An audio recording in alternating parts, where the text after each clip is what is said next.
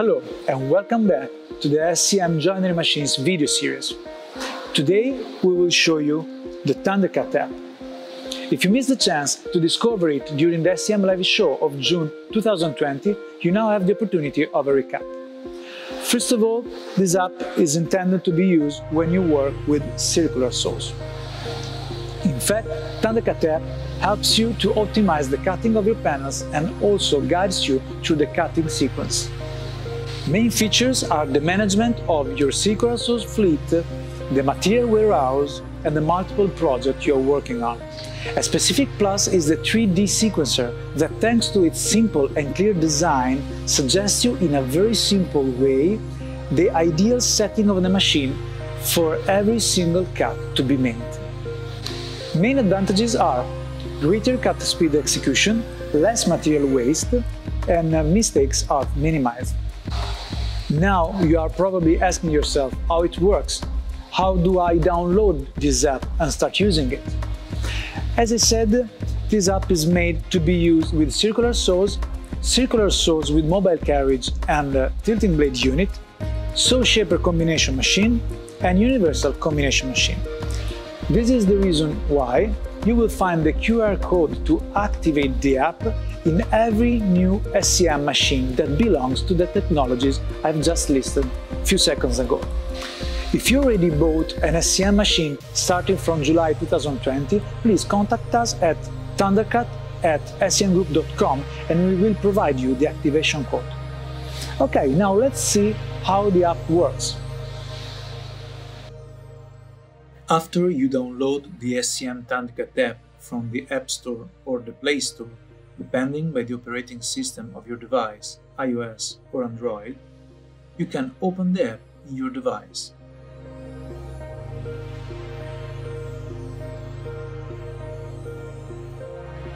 The first thing the app will ask you is to register a new account using your email.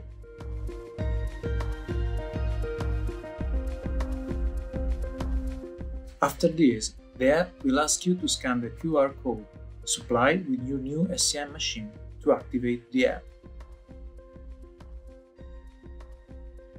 You are now able to use Thundercut app. In the Machines tab, click on the plus button to proceed with the registration and the setting of our machine, paying particular attention to the technical features as they will influence the behavior of the optimizer and the sequencer.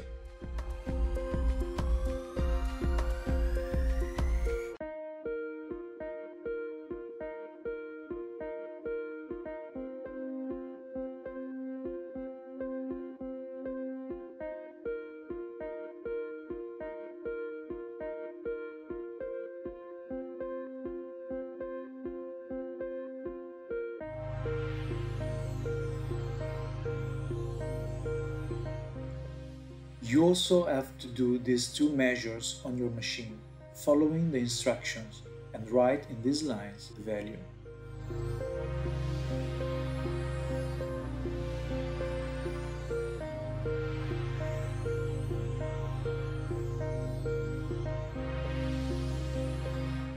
If you have a circular saw with automatic mobile carriage, activate this toggle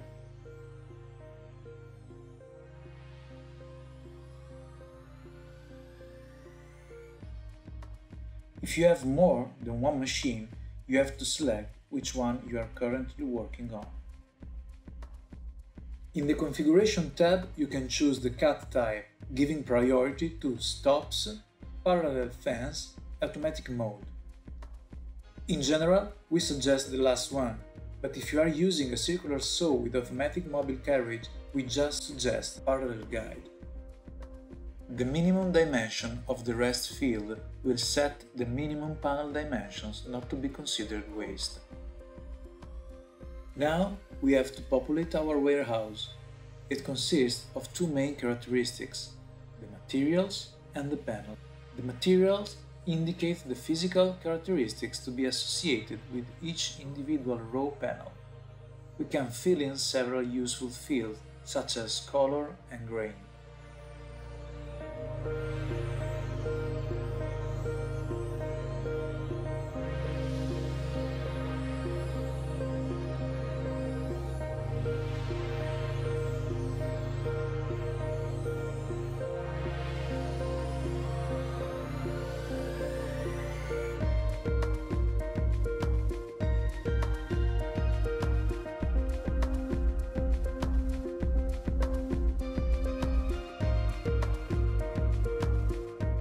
Now we can create or import the project from existing files.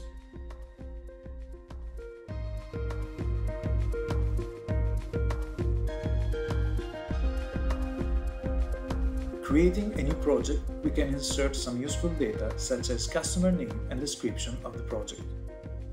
Going forward to the Parts tab, we must fill in the cutting list, which is composed of the finished pieces that we want to obtain. In case of import from an existing file, this part will already be fulfilled.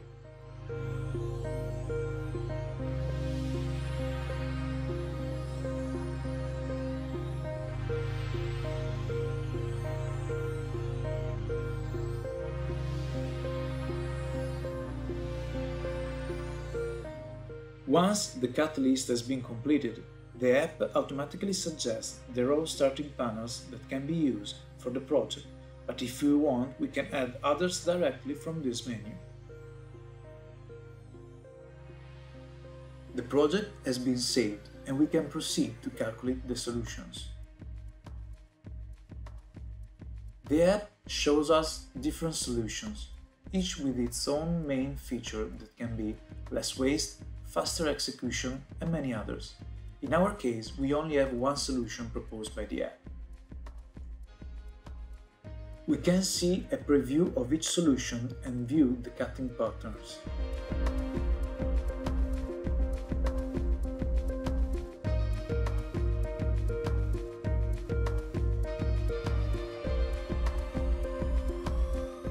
By drag and drop, it is also possible to change the order of the panels to be sent to the sequencer. It is now time to start the sequencer that will guide us in the sequence of cuts to be made. The screen has different settings. We can change the view of the machine, activate or deactivate the animations, or repeat the last animation.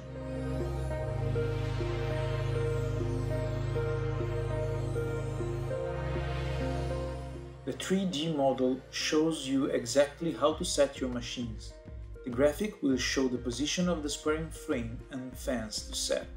The number in green indicates the position of the stops or the parallel fence. Once we have done the cut, clicking on Next, we will move on to the next cut. The app manages the stacks of panel, indicating what must be set aside for next cut and what is instead a finished panel. Touching the panels, we can also see their name in order to know exactly what piece we just produced. If we have a label printer connected to the tablet, when a finished product is done, the app automatically sends a label printing signal to the connected printer. It's also possible to repeat the printing with a dedicated button. The map at the top left indicates the progress of the cut inside the starting panel and how many raw panels we are using compared to the total needed for the project.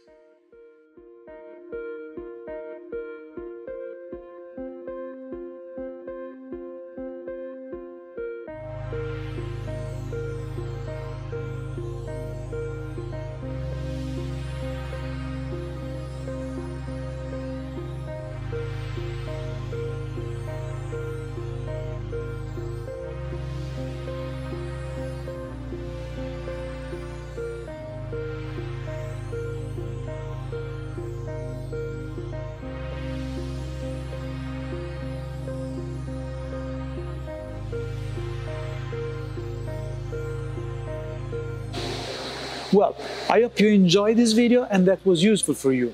Thank you for being with us and I see you in the next video about SCM joinery machines.